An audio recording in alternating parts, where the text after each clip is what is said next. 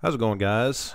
In this video I wanted to take some time to show you how to actually get started with uh, Workbench. This is of course Tridium Niagara. Uh, for those of you guys that are familiar with Tridium, this is going to be basically an introductory video for some of you new guys out there uh, that do not have a lot of experience with Tridium. Now you know that most of my videos on this channel have uh, primarily focused around Metasys but I wanted to expand on that just a bit, and we are actually going to look at a few things within Tridium. You know, I've had a few guys out there ask me questions about Tridium, and I'm going to try to dig in and begin starting this by showing you the basics of the basics. This is what you will do if you were going to set up a, a system from the scratch.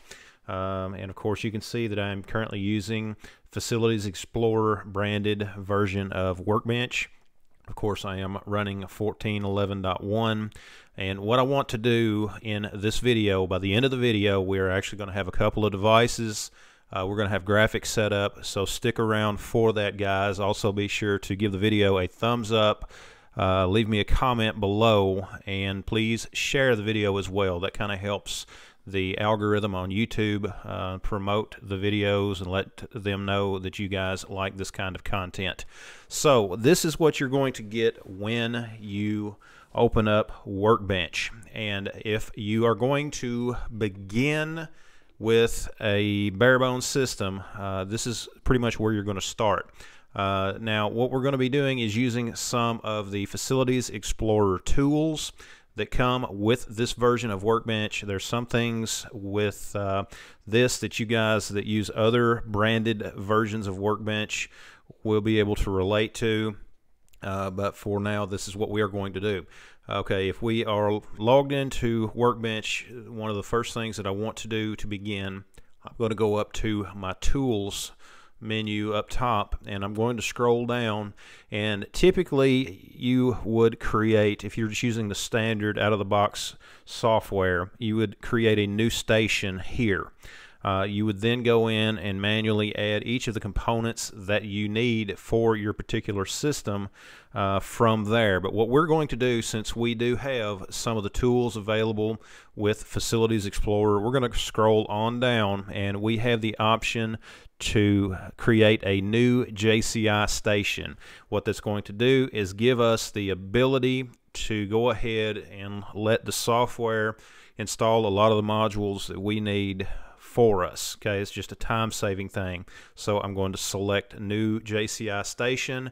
This is where I will name that station. And for the purposes of this video, I'm just going to call this test station but you can name it pretty much whatever you need, whether it's a building name, a system name, or whatever, but that's just what we're going to be doing here.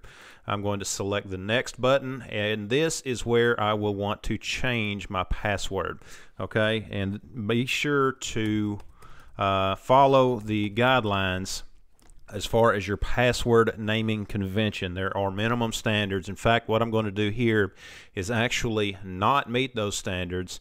I'm going to hit next and show you the error that I get. Okay, right here you can see that there are minimum standards that must be met before it will allow you to continue. Okay, uh, be sure to follow these guidelines and create a strong password for the system that you create. So that's what we're going to do now.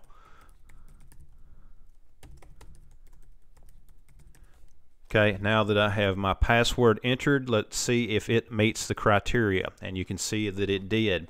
This screen here gives me the option to select a lot of the pre-installed uh, components within Facilities Explorer. You know, if I am adding a uh, uh, an N2 system, if I'm working on an N2 system, I can select that here. I can select LAN. Uh, what we're going to be adding is BACnet IP and MSTP. Okay, you can do BACnet IP only. It just really depends on your particular site, on the particular system that you're working with. There are also a lot of other options down through here. Uh, that can be selected as well. But just to keep the process moving, we're going to go select BACnet IP. I'm going to hit next. Again, we have other options here that we can pull into the system if necessary. Uh, and there again, uh, you can select whatever you need for your system. And something that I forgot to mention, when I do select this, I can actually change this name and I can name it whatever I need it to be. But for the purposes of this video, I'm just going to leave it to BACnet Network, which I think will work fine for what we're doing. I am going to go ahead and let it add a weather service to this. It's something that you can or can't do. It's really up to you. Uh, SMS service, uh, tunnel service. It really depends again on what you are doing within your system. I'm going to select next. I'm going to go ahead and let this system copy the platform, copy the station to the platform. And, uh, you know, that's just one step that it can go ahead and do for us and it you know instead of us having to go in and manually do that but it really depends on uh, your preferences if there's other things that you're going to need to add other files and things like that uh, you may want to do that prior to transferring it to the uh, to the station so we're going to select finish and once uh, this does get everything created for us what it will do is actually take us into the station copier and automatically begin that process for us.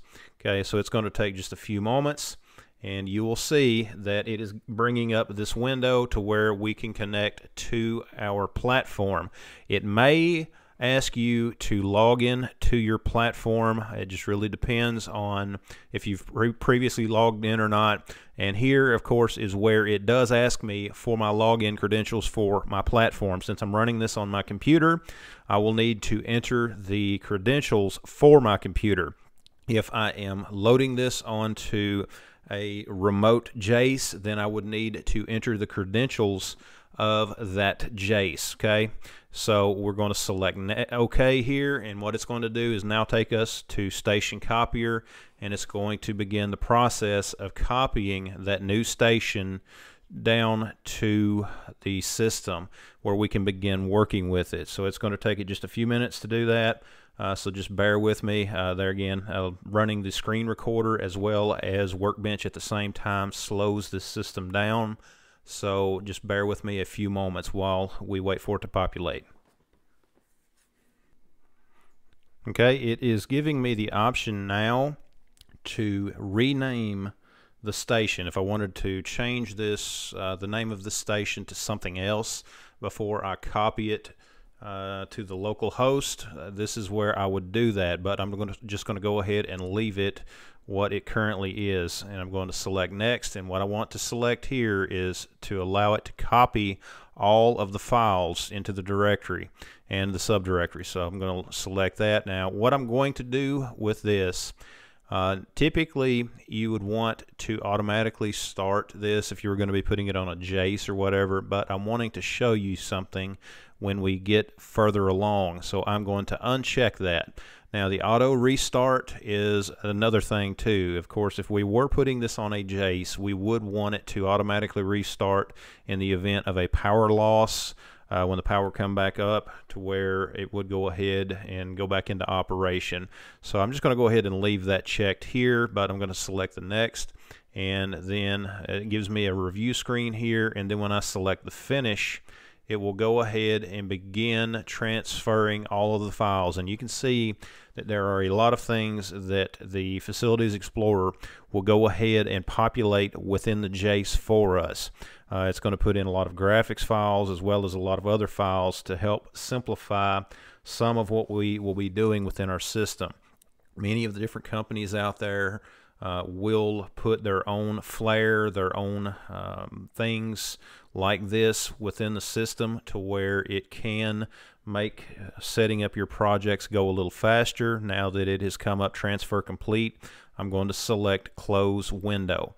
And you can see here it is going to give me the option to open the application director. I'm going to select yes. And once I go into the application director, uh, this is where I will start the Jace from or start the uh, station from. And before I do that, what I want to do first is actually show you a little bit about where this application director is. I'm going to first go back into my host, my platform here. And when I look at this, of course, we see all of the different files and things like this that are under this. But what I want to do, if I right click and select Open Platform, this is, of course, going to give me the option to connect either securely or non-securely. I recommend always connecting securely. Select OK. And the application director that you just saw a moment ago is right here. Okay, this is where I would go in either to the application director or the station copier, which you've seen where we loaded the station into the local host. Okay, that is this option here. Uh, the application director is where you would start and stop the station that you create and that's where we was previously. Of course we have remote file system all these other options there that we're not going to get into at this point. I just basically want to give you some information to help you get started. So we're going to go back into the application director so I'm just going to double click here okay? And here we are back in the application director. I do have the option again to auto start the station. I'm going to uncheck that and uh, as well as the restart on power failure or whatever. Now that we have uh, the station highlighted and you could potentially see more than one in here but I will tell you you do not want to have more than one station running at a time especially within Workbench or even on a Jace. Uh, it's not going to work. You're going to end up crashing something now that we have this highlighted I'm going to hit start and it's actually going to start this station within the local host. You'll see it here. It automatically uh, just gets everything going and you can see it tells us here the current status of it that we're starting. And eventually once it gets through everything here it should come up and say running. And of course it will take it just a few moments to get all of that populated. And this is also where you would go to stop the station as well. You do have this option here for killing the station which that's basically like pulling the plug you know, but it's not recommended that you do that. What you would want to do if a station is up and running is select stop. That way it gives it time and shuts it down properly. Okay, if you were needing to do some additional work on a station and you needed to transfer that to uh, you know another device or whatever, you could do this with the stop button. You know, uh, again, it's not recommended to use that kill button, but it will stop everything from running if you press that. You can see here it's getting everything started up. We can see that it is now running on our system. And what I want to do now is I'm going to go back over here to my nav window. I'm going to right click and I am going to select open station. Okay, it's going to give me the option again as far as how I want to connect. I'm going to, of course, be connecting securely. I'm going to select OK. And here is where I will need to enter that password that I put in earlier where I changed that. Okay.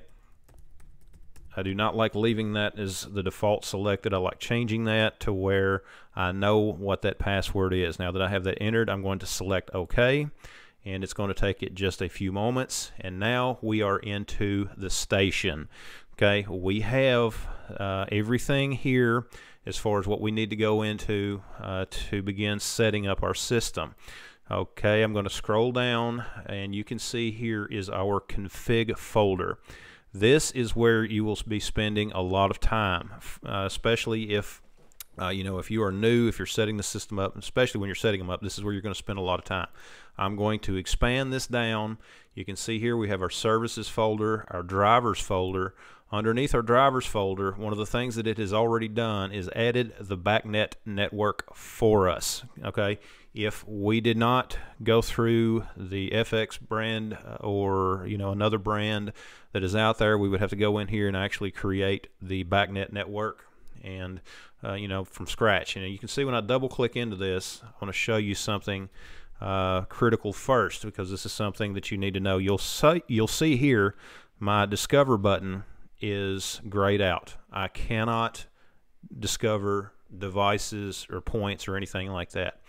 There's a very particular reason for that. I'm going to drop this down here. You have got to configure this correctly before you can begin discovering devices. Okay, I'm going to go into local device. This is, uh, if I click into that, you'll see here we uh, have at the top here it says fault, right? I have got to go through here and enter some information. The first thing, object ID. This is something that needs to be unique to each station that you set up. I would recommend if you are working on a large site that you have some type of a naming convention, some type of a structure that governs how each of these systems are set up within that site. For the purposes of this video, I am going to change this to 100. Okay, uh, but again, remember, you want to make sure that you have some type of numbering and naming convention in place. I'm going to hit enter and you can see that the status of this went to OK. There's still some additional things that I need to set up underneath the BACnet COM. Okay, I can click into here and of course this is where my uh, additional information stuff's going to live. This is for my IP port. Uh, this is also going to be for my MSTP port. If I drop down my MSTP port, I have the option here of giving this a network number. For the purposes of this network, I am going to name this network 1000. Okay. And of course, for my IP port, if I was doing BACnet over IP, uh, what I'm going to do on this one is I'm going to name this 2000. Okay, again, you need to have some type of numbering and naming structure in place for your system. Uh, now that I have the MSTP port, I've got a network number uh, entered here, and of course I can just call this one and two. Let's just do that. Uh, but uh, for uh, you know, you can simply do it from one and two. Uh, having this at 1000 and 2000 though, for example, if I wanted to number and name a device, uh, if I wanted to call this, you know, add a device, device one, uh, you know, I can use this type of numbering to actually set it up to where that first device would be 1001, uh, the next one would be 1002, and so on. What that will allow you to do uh, if you're going through your system or whatever is you can instantly look at a device and tell what network that device is connected to. Uh, that's just a little bit more of an explanation for that. Now, I am going to deliberately leave this false for a moment because I want to show you something else. When I hit save, okay, I'm going to go back to my BACnet network. Double click in here and you will notice my discover button is still grayed out. Okay, if you do not enable it, you're not going to be able to discover points. So I'm going to go back in here. I am going to select true. Okay, I'm going to hit save and then I am going to go back into my network again and you can see we're still grayed out. Okay, the reason for that I still do not have everything set up the way that I need it to be. Okay, you've got to get all of this set up properly before it's going to allow you to set up your network. Okay, I'm going to go back into my network options. Let's look a little deeper into my IP port. You can see here as far as the status of my IP port and all that, it is disabled as well. Okay, I want to set this to true and I'm going to hit save. Let's see what this does for us. Okay, I'm going to double click on my BACnet network again and you can see we're still grayed out. Okay, let's go back into our IP port again. You see our link option? I'm going to drop that down. You see this here to where the adapter, it currently says none. Okay, I need to select an adapter to turn on to have this to look at. Okay, I am going to select one of my adapters and once I do that I'm going to hit save. Now let's go look at our BACnet network again. I double click in, nothing. Still grayed out. So let's dig a little deeper double click back into the site. You can see here our enable. I'm going to highlight that. I'm going to select true. Once I hit true I hit save. Okay? Now again each of these steps is intended to help you capture some of the errors that people do.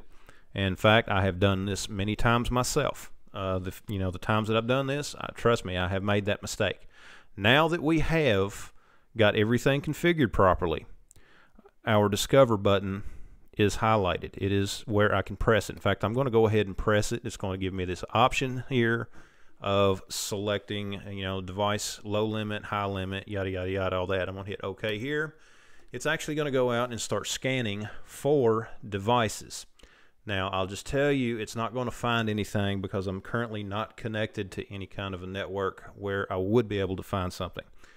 However, we can still add a lot of the devices to our system basically from the CAD files and things like that that we have used, uh, that we've created in CCT or PCT.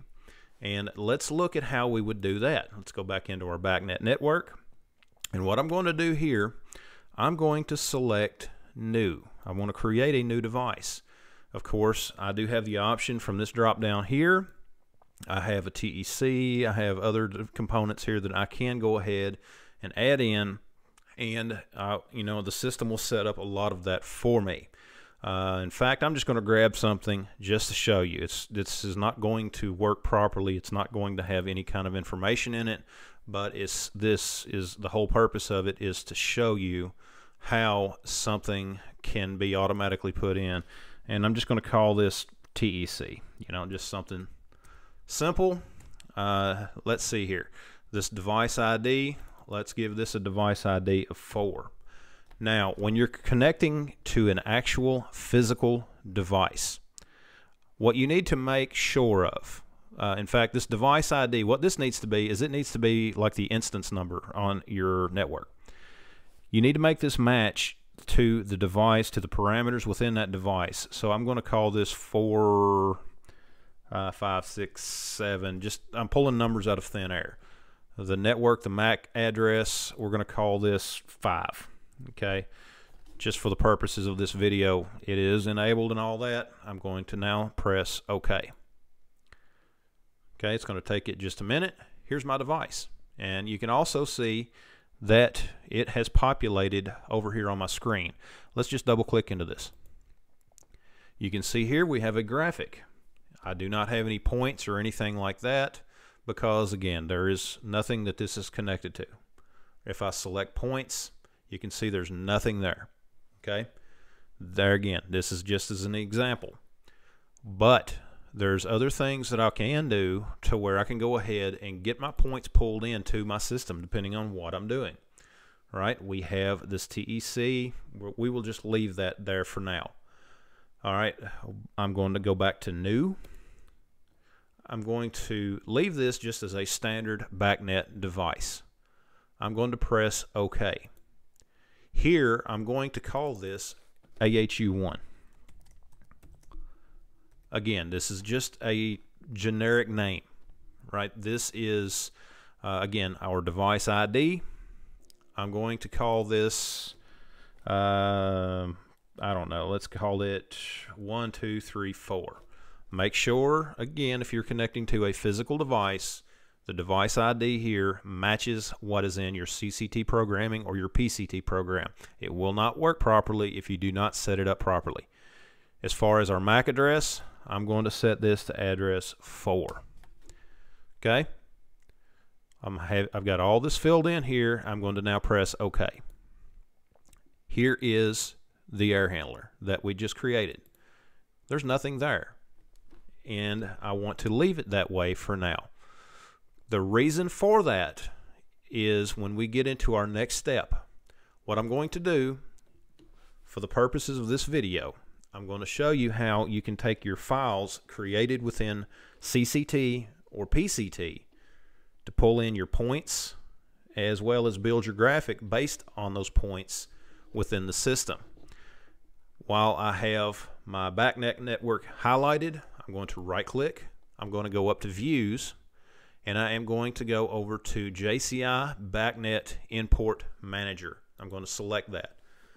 What that will do is it will pull those devices into this window. My air handler here, of course, I have no points underneath it. If you try to add manual points underneath this, these will not populate in the import manager. You can have any kind of just a single point. You can create just a fake point.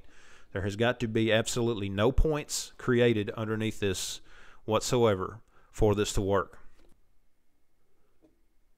Now, what we will do, we have our air handler highlighted. I'm going to go down here. I'm going to press the edit button.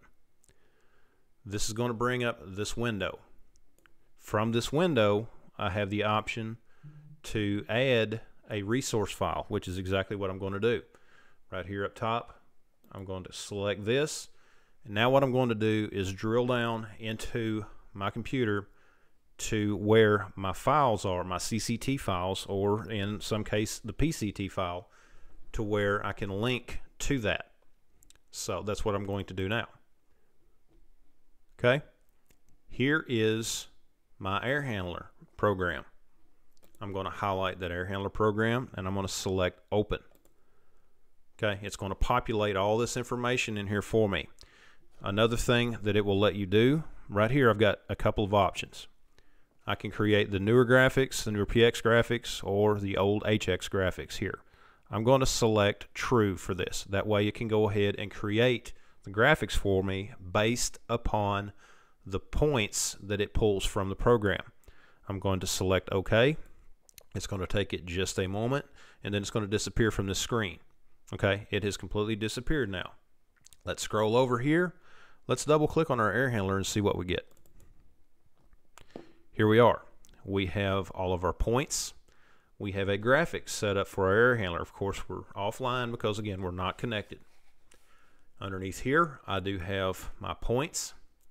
I can do is go up to the uh, corner and select Point Extension Manager. And from here, I can actually add trends, alarms, and things like that directly into the system. Okay. Uh, if I want to know, keep a trend on this unit being occupied, I simply check there. Select change of value since that is an occupied, unoccupied status. Uh, I can go into my zone temp or my discharge air temp or any of these uh, points, create trends, alarms, or just whatever I need within this system. Okay, very simple. And I can be sure to go down here and hit save. And of course, you know, here we are back at our air handler. Of course, if our air handler is going to be serving a series of VAVs, let's go through it one more time and create a VAV. How did we do that again? Go back into my BACnet network. Here are my two devices. And since this TEC, since it's something that just is uh, we're not going to be doing any more with, I'm going to go ahead and delete it. Okay, so I'm just going to right click, select delete, and just get rid of that. Okay, but I do have my air handler still here. Okay, what we will do, I want to select new, and of course I'm going to create another BACnet device, select OK, and I'm just going to call this VAV. Device ID, again, set this to something. Uh, there again, goes back to the naming convention within your system. You need to go back to the program that you wrote within CCT or PCT and make this match. The same here for the MAC ID. Okay, I'm going to call this address 6 right? I have it set up, VAV, again, name it whatever you need it to name. This is just some generic stuff. I'm going to select OK, and here is our VAV. You can see, I double click, this is brings me back to this window. Very simple. I'm going to go look at that VAV. Double click on it, nothing, no points, none whatsoever, because we still need to add everything in. And we're going to go back one more time. I'm going to right click, Views, JCI, BACnet Import Manager. Here's our VAV because, uh, as I mentioned earlier, if you have already created any kind of points underneath that device, this will not work. So you have to have just a bare device. My VAV is what is highlighted. We're grayed out down here until I click on it. Once I click on it, I have my edit option. I select my edit, brings me to this window. Again, I'm just going to resize it to give myself some working room. Up here, up top, the resource file, I'm going to browse to where I have my files, and I'm just going to grab one of my VAVs. select open. I'm going to create the graphic, select true for this, and now I'm going to hit OK. Takes it just a minute, that disappears. If I go back down here, double click my VAV, and now I have a graphic. I have points, I have pretty much everything set up. If I go down here to page two, I can see my thermostat. I can see everything related to it as far as my set points and things like that. If I click this, I have all of my points within that VAV. I can then go up to the point extension manager if necessary, add trends, add alarms, or just whatever else that I need on this. Okay, our supply airflow, if I want to add a trend on that, change a value, interval, however, whatever I need to add. Okay. We'll select interval. And now I have a trend on that supply airflow. Hit save, and we're done. But guys, this is just some basic information showing you some of the steps involved in setting your system up from scratch. Okay again, you need to remember that when you're going through configuring this, that your device IDs, your MAC addresses, and things like that have got to match a particular controller within your system. It needs to match the um, software IDs perfectly. Okay, if there's some mismatch in there, it's not going to work. Okay. Anyways, guys, this is just a quick video that I wanted to do, uh, just to kind of help some of you new guys out there along just a little bit. I plan on doing more videos on Tridium in the future. If you have any questions, leave those down in the comments below. Also, guys, check out all the links down in the description. Thanks for watching. Visit my website at systemcontroltech.net. You can sign up for the newsletter that I have over there. Again, thanks for watching, and we'll see you next time.